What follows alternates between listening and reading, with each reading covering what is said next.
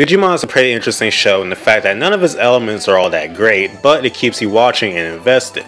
Now don't get me wrong, it's not bad by any means. Everything from the characters to the story are just sort of average. The basic plot is a group of kids are sent to another world and are tasked with saving it along with their Digimon partners, creatures that can evolve and devolve continuously. That's it in a nutshell. The adventures start off pretty formulaic, but by the last couple arcs, things get more serious and much more interesting, with more mature plot points and character development being explored. As I've said, the show isn't anything special. If you didn't watch it growing up in the 90s, you probably won't get anything special out of it now. That being said, I do still recommend it. It's enjoyable and the soundtracks in both Japanese and English are good. Give it a try.